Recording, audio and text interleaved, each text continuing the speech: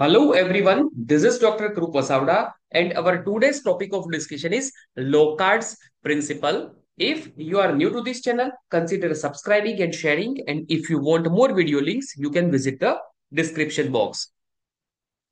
So let us check out the introductory part first. Locard's principle, named after Dr. Edmund Locard, a French criminalist and pioneer in forensic science, right? So Locard principle is named after Dr. Edmund Locard, right? And describes a principle properly known as Locard's exchange principle. So we will see the principle in detail uh, later, but it was popularly known as Locard's exchange principle. This principle constitutes the basic of the concepts of trace evidence and all crime detection. So the principle constitute the basis of the concept of trace evidences and all crime detection. So let us see the principle.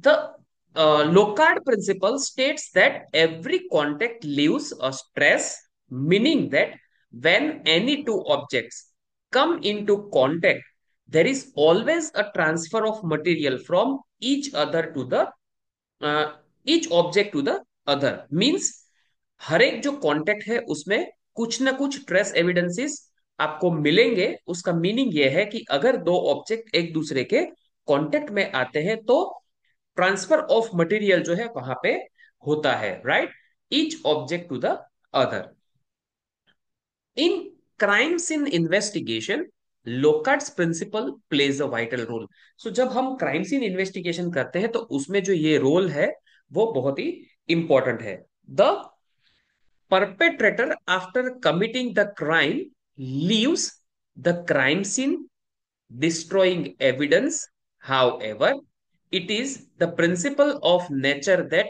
when a perpetrator touches something during the crime, they leave some evidence that is either not visible to them or which they are not aware of. Right? कहीं कहीं पे जो perpetrator है यानी कि a person who commits crime, right?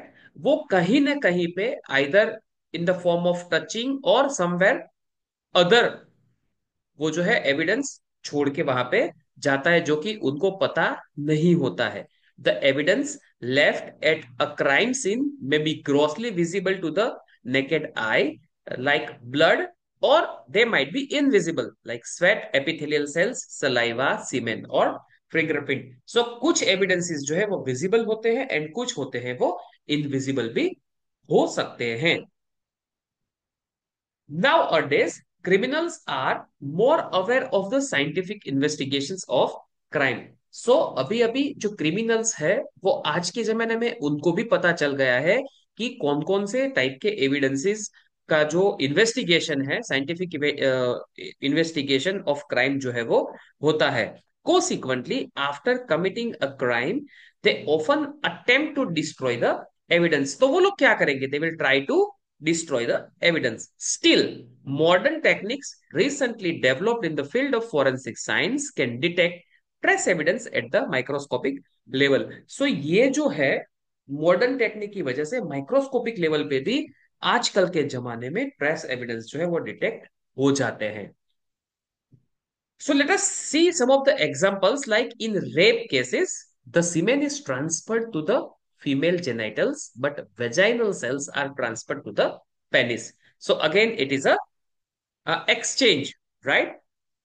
The second case is homicide. The blood of the victim sticks to the dagger and the dagger leaves its metallic traces to the at the site of wound.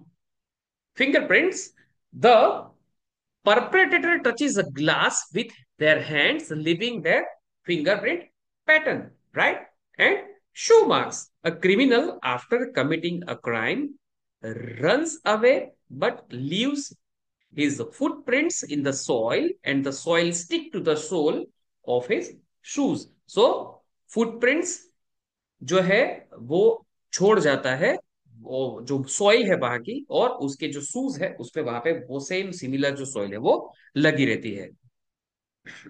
Thank you for watching this video you can subscribe this channel click bell icon and share this video amongst your friends thank you